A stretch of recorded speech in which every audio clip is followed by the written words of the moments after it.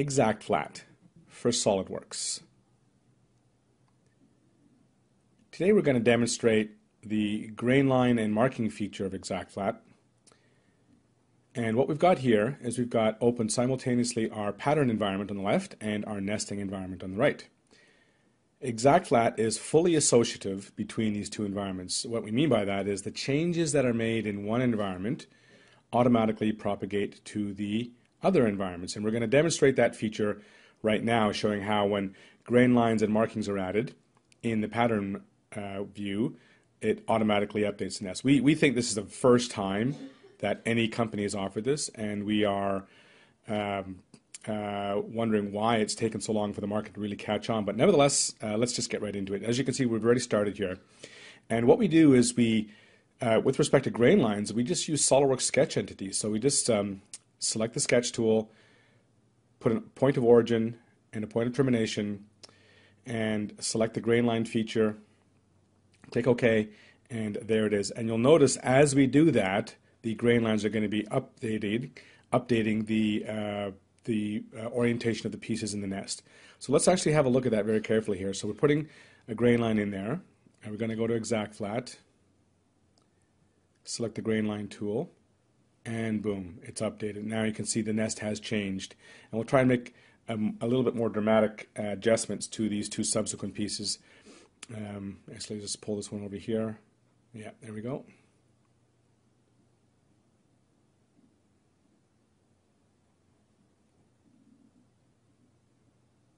We select our SOLIDWORKS sketch tool, pick a point of origin and a point of termination, click on the grain line, click OK, and there you see the nest being updated.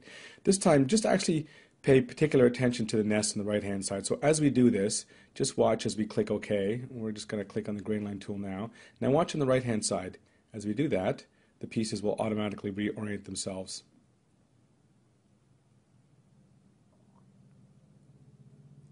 There, that's a bit more dramatic. Now we should see it. There. So you can see that if we have uh, fabrics with a nap or with a grain line feature, uh, it's very easy to associate grain lines to CAD geometry and very, very easy to update them. And what we're going to do is we're going to create a nest here. So let's just adjust this to 20 copies. There we go. We'll change that to 20. Click OK. And we can go ahead and start our nest going. We'll delete the previous one and click Nest. There we go, click nest.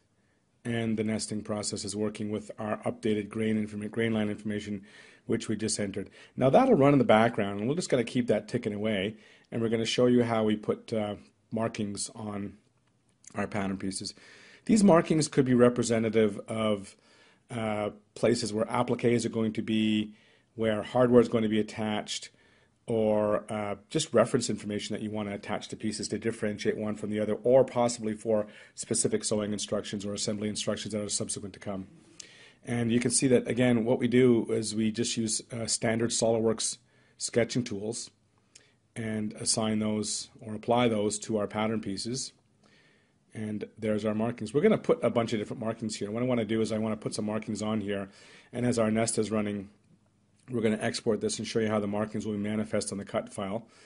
These uh, will be able to be defined as layers in our DXF, so we could assign a number of different attributes to them depending on what our, our specific purpose is here. But we'll just go put a few things on these pattern pieces for now.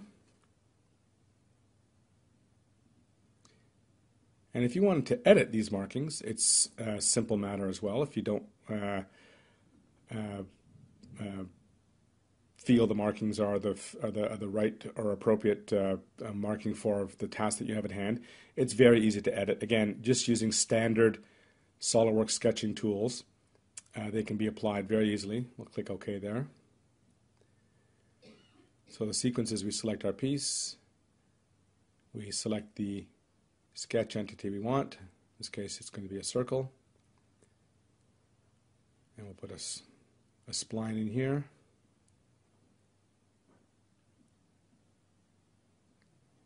And once the sketching is done, we apply the marking by clicking the marking tool and clicking OK. And we have our last piece here just to demonstrate how it's done.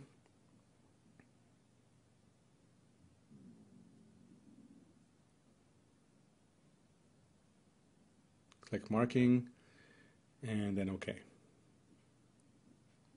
Now let's go back and check in on our nest. You can see that our nest has been working away in the background. It has completed itself, so we're going to accept this nest. We set it to run for a minute. Close that out.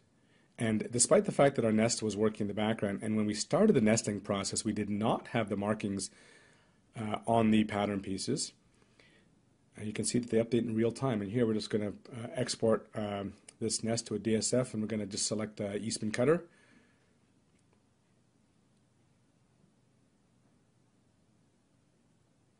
And here's the exported file. And there you have it. And if we zoom in here, what you'll notice is you can see the markings on the pattern pieces, fully associative between pattern engineering and nesting. The first of its kind, only in SOLIDWORKS and from ExactFlat. And if we wanted to go and edit these pieces, it's a simple matter of uh, editing the sketch entities, saving and exporting as well, and um, the nest will be updated.